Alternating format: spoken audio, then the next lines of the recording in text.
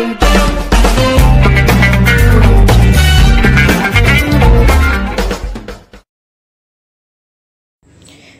அன்பு வணக்கம். இன்றைக்கி நம்ம ஹானாஸ் கிச்சன் தமிழில் சுரக்காய் வச்சு தான் ஒரு கூட்டு ரெசிபி பண்ண போகிறோம் கூட்டுக்கு தேவையான பொருட்கள் இந்த மாதிரி ஒரு முழு சுரக்காய் வாங்கி கட் பண்ணி வச்சுருக்கோம். குட்டி குட்டியாக உங்களுக்கு எந்த ஷேப் வேணுமோ அந்த மாதிரி நீங்கள் கட் பண்ணிக்கோங்க. சுரக்காய் ஒன்று கடலைப்பருப்பு.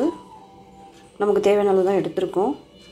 ஒரு கைப்பிடி அளவுக்கு ஊற வச்சு வச்சுடுங்க. இது ஒன் ஹவர் ஊற வச்சு வச்சுருக்கேன். கடலைப்பருப்பு பூண்டு இந்த மாதிரி குட்டி குட்டியாக சாப் பண்ணி வச்சுருக்கோம். ஒரு முழு பூண்டு கார்லிக் சின்ன வெங்காயம் ஒரு கைப்பிடி அளவுக்கு எடுத்து இந்த மாதிரி உரித்து ரெண்டாக கட் பண்ணி வச்சுருக்கேன். நீங்கள் பெரிய வெங்காயம் தான் யூஸ் பண்ணிக்கோங்க. ஆப்ஷன் தான். நான் சின்ன வெங்காயம் யூஸ் பண்ணியிருக்கேன் ஒரு சின்ன தேங்காய் ஒரு மீடியம் சைஸில் ஒரு தேங்காய் எடுத்து அதை நல்லா மிக்சியில் அரைச்சி வச்சுருக்கேன். தண்ணி ஊற்றாமல் அரைச்சி வச்சுக்கோங்க.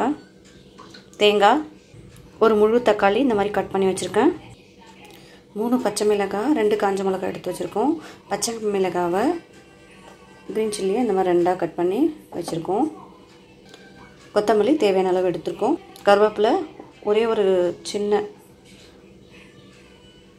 சின்னதாக எடுத்திருக்கோம். ஒரு கிளை மாதிரி ஒன்று குட்டியாக எடுத்திருக்கோம். தாளிக்கிறதுக்கு தான் நம்ம யூஸ் பண்ண போகிறோம் கருவேப்பிலை உப்பு தேவையான அளவு எடுத்திருக்கோம். மஞ்சத்தூள் கால் டேபிள் ஸ்பூன் எடுத்திருக்கோம். பெருங்காயத்தூள் நமக்கு தேவையான அளவு தான் எடுத்திருக்கோம். தாளிப்பதற்கு எண்ணெய் தனியாக எடுத்திருக்கோம். கடுகு சீரகம் உளுத்தம்பருப்பு ஒன்றா கலந்து வச்சுருக்கேன். தாளிக்கிறதுக்கு இதுதான் நம்மளுடைய தேவையான பொருள்.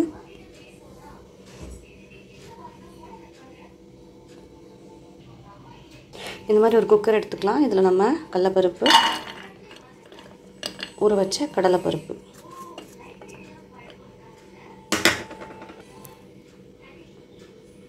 நறுக்கிய வெங்காயம் சின்ன வெங்காயம் போட்டுக்கலாம்.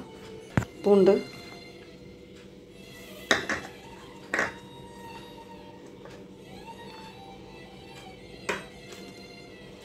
பச்சை மிளகாய் மூன்று. மஞ்சத்தூள்.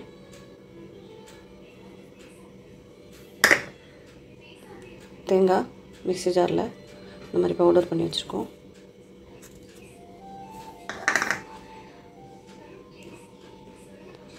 தக்காளி.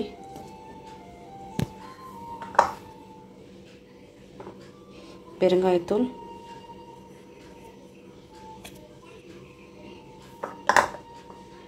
உப்பு தேவையான அளவு போட்டுக்கலாம். அப்புறம் சுரக்காய். ஃபுல்லாக இதில் ஆட் பண்ணிக்கலாம்.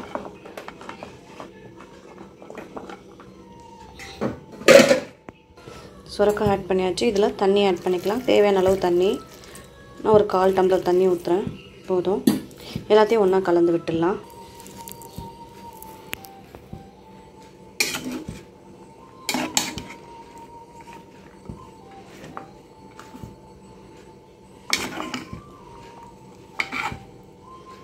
எல்லாத்தையும் ஒன்றா கலந்தாச்சு. நம்ம குக்கர் எடுத்து மூடி போட்டுக்கலாம். ஒரு மூணு விசில் விட்டு ஆஃப் பண்ணிடலாம். மூடியாச்சு. ஓப்பன் பண்ணிக்கலாம். பாருங்கள் நம்மளுடைய கடலைப்பருப்பு கூட்டு இல்லை பொரியல் கூட சொல்லலாம். ரெடி ஆகிடுச்சு நிறைய ஹெல்த் பெனிஃபிட்ஸ் இருக்குது இதில். நல்லா குக் ஆகிடுச்சு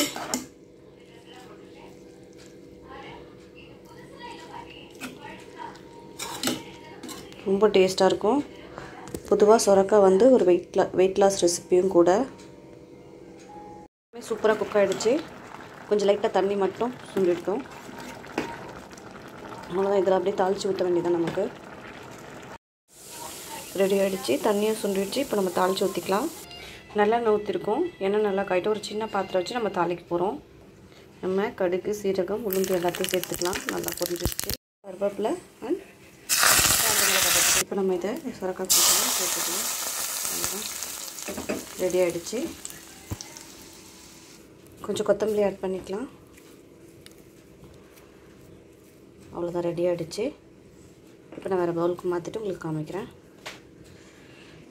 பாருங்கள் நம்மளுடைய சுரக்காய் கூட்டு ரெடி ஆகிடுச்சு உங்கள் வீட்டில் நீங்கள் இந்த மாதிரி ட்ரை பண்ணி பாருங்கள் வெயிட் லாஸ் பண்ணுறவங்க இதை ஒரு லஞ்சாக கூட நீங்கள் எடுத்துக்கலாம். ரொம்பவும் டேஸ்ட்டாக இருக்கும். இந்த மாதிரி நம்ம செஞ்சு கொடுக்கும்போது நம்ம வீட்டில் வீட்டில் இருக்கவங்க எல்லாருமே விரும்பி சாப்பிடுவாங்க. இட்லி தோசை எல்லாத்தோடும் வச்சு சாப்பிட்லாம். ரைஸோடவும் பிசைஞ்சு சாப்பிட்லாம். வேறு லெவலில் இருக்கும். சுரக்காய் ரொம்பவும் உடம்புக்கு நல்லது. நீங்கள் இந்த மாதிரி ட்ரை பண்ணி பாருங்கள் நான் என்னென்ன பெனிஃபிட்ஸ் இருக்குன்னு சொல்லிவிட்டு டிஸ்கிரிப்ஷன் பாக்ஸில் போடுறேன் நான். நீங்கள் பார்த்துக்குங்க மீண்டும் மீண்டும் சுவைக்க தூண்டும் Hana's kitchen Tamil. Thank you for வாட்சிங்